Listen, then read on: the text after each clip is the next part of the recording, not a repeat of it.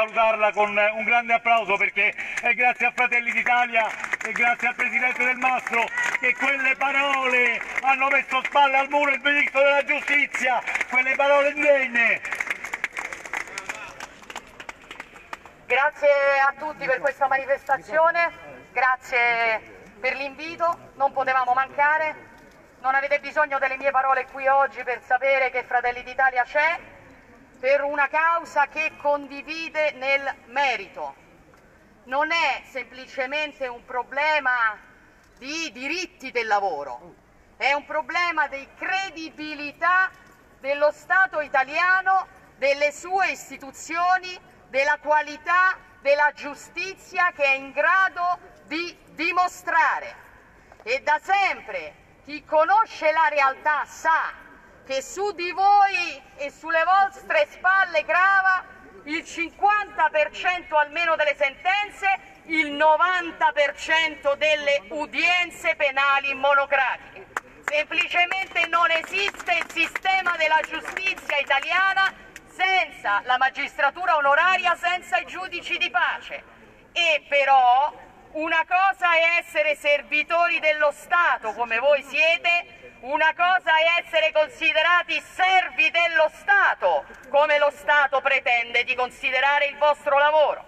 E questa è la ragione per la quale Fratelli d'Italia ha operato in questi anni con diverse interrogazioni, compresa l'ultima che è una delle ragioni scatenanti di questa manifestazione del collega Del Mastro che insomma si fa sempre sentire con chiarezza nelle aule parlamentari anche su questi temi esattamente come voi sapete che da tempo abbiamo depositato una proposta banale, semplice, stabilizzazione per la magistratura onoraria fino alla pensione, trattamento equiparato ai magistrati togati.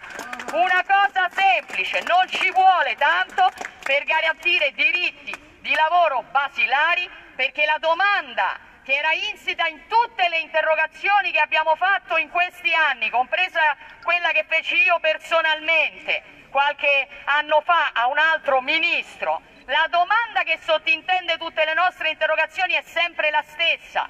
Può lo Stato italiano nel 2021 non riconoscere a lavoratori, a professionalità delle quali si avvale quotidianamente diritti basilari e fondamentali come la maternità, la malattia o le ferie. È questa la domanda alla quale lo Stato non ha mai voluto rispondere. E quando ha risposto, come l'ultima volta ha risposto il ministro Bonafede, le cose sono andate anche peggio perché la risposta del ministro Bonafede, che in buona sostanza ci spiega che la magistratura onoraria è al servizio di quella togata, che altrimenti rischierebbe di perdere in tema di stipendio e di status, equivale a dire, a sancire nel 2021 il principio che ci sono dei servitori della gleba del diritto che servono a lavorare senza alcuna possibilità di vedere riconosciuti i propri diritti per mantenere i privilegi di